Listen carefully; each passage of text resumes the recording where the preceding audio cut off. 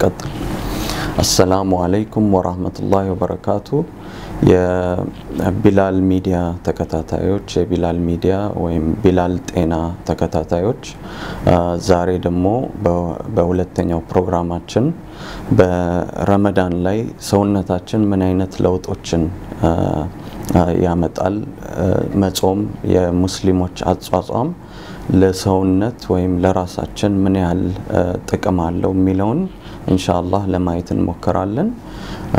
ይህንን ያው የምጀምረው ያው ጥያቄውን በመጠየቅ ነው።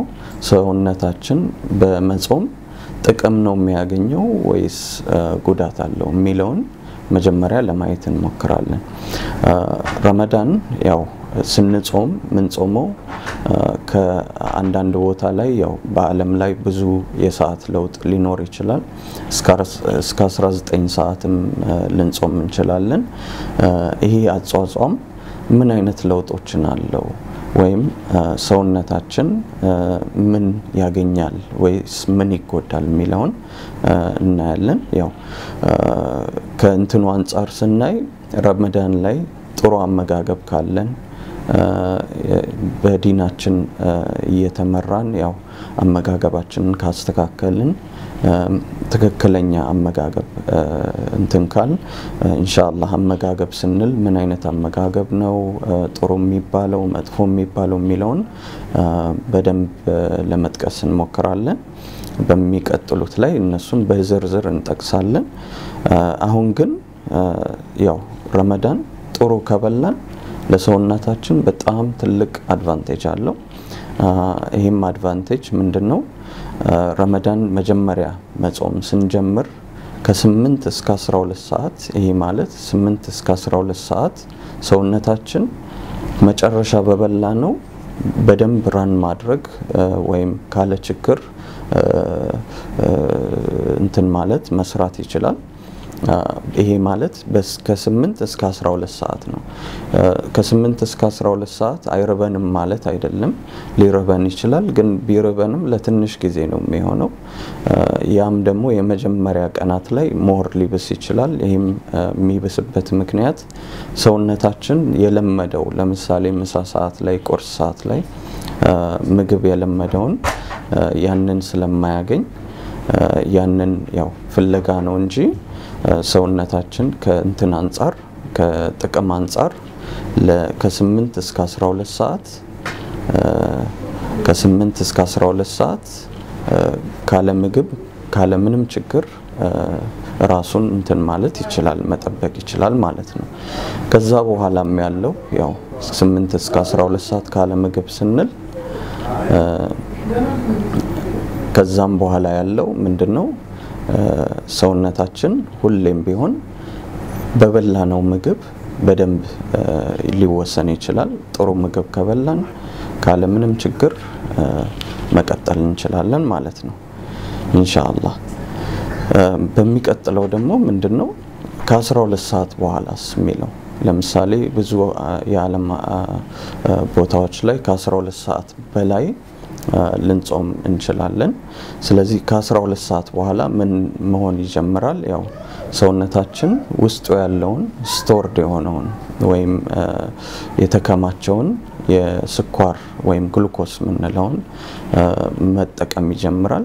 እነዚህ ክምችቶች glycogen የሚባል ነው። ከ glycogen ስኳሩን ወይም ግሉኮሱን ያገኛል ማለት ነው። አንደኛው እሱ ነው።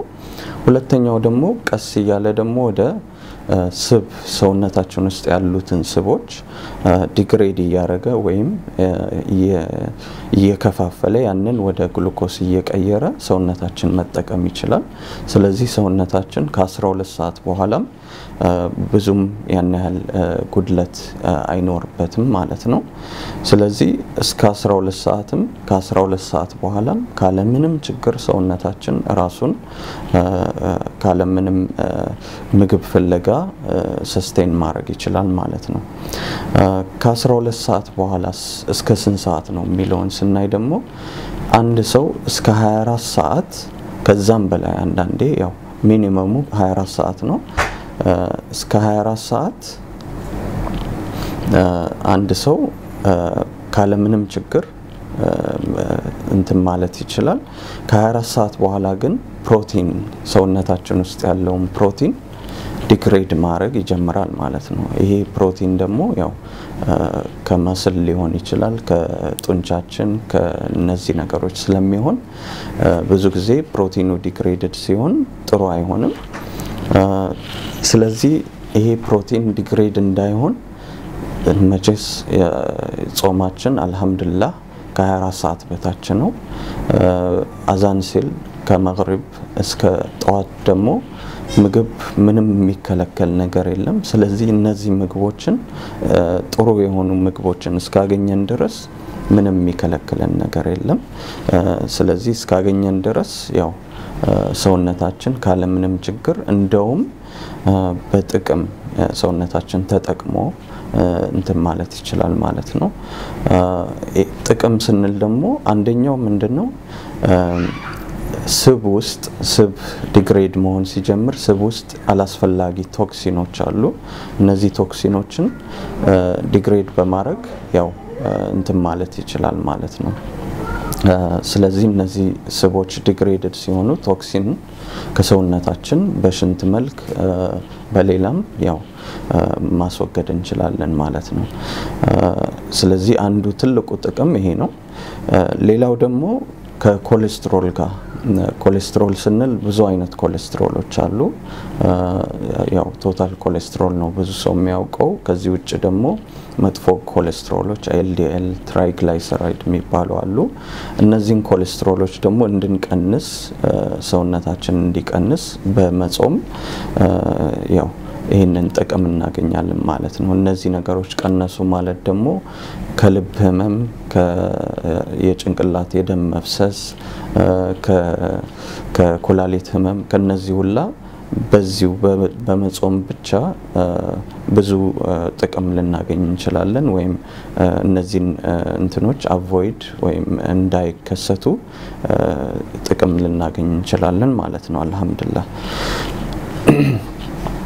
ያው ከዚህ ውጭ ደግሞ ያው እንዳልነው ፕሮቲን degraded የሚሆንበት ጊዜ ነው። ፕሮቲን degraded የሚሆነው እንዳልነው ከ24 ሰዓት በኋላ ነው።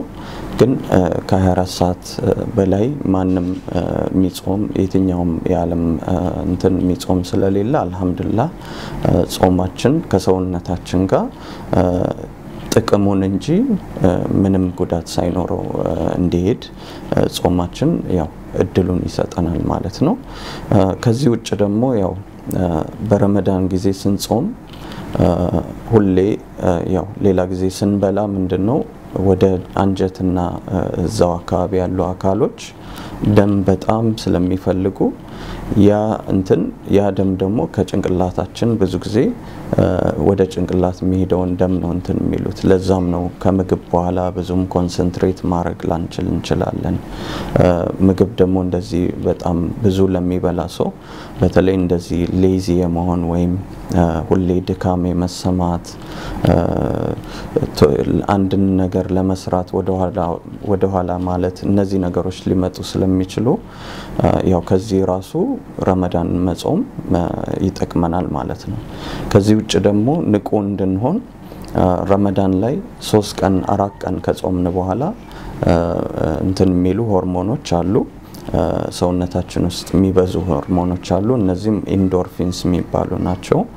እነዚህ በዙ ማለት ሰውነታችን አልሐምዱላህ አንደኛ ጭንቅላታችን በደንብ concentrate እንዲያደርግ፣ ሁለተኛ ደግሞ ሌሎች አላስፈላጊ toxin ኦችን ቶሎ እንዲወገድ በደንብ ይጠቅመናል ማለት ነው። አልሐምዱላህ ያው ሰውነታችን እነዚህን ነገሮች በረመዳን ወቅት እንትን ይላል ማለት ነው። እነዚህ ነገሮች ይከሰታል ማለት ነው። ግን ይህንን ያው ከመጀመሪያው እንዳልኩት ጥሩ አመጋገብ ካለንና ምግብ የተመጣጠነ ምግብ ስንበላ ነው ይህንን አቺቭ የምናደርገው። ኢንሻአላህ በሚቀጥሉት ፕሮግራሞች ደግሞ ምን እንብላ ምን እንተው የሚለውን በደንብ እናወራለን። ኢንሻአላህ በሚቀጥለው በቢላል ሚዲያ እስከምንገናኝ ድረስ ኢንሻአላህ ያው በዚሁ የዛሬ ፕሮግራማችን እንጨርሳለን። አሰላሙ አለይኩም ወራህመቱላሂ ወበረካቱ።